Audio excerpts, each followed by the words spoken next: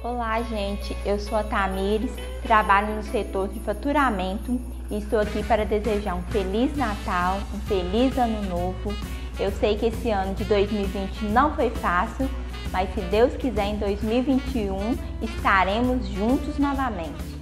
Feliz Natal e um feliz Ano Novo para todos nós.